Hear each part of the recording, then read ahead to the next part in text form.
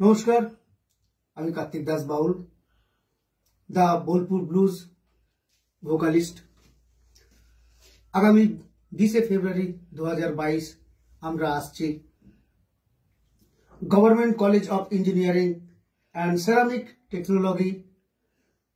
খুব শিগগিরই আপনাদের সঙ্গে দেখা হবে এবং কলেজের সমস্ত বন্ধুদের দ্য বোলপুর ব্লুজের তরফ থেকে অনেক অনেক ভালোবাসা, অভিনন্দন, শুভেচ্ছা রইল। খুব জমি আড্ডা হবে। Thank you.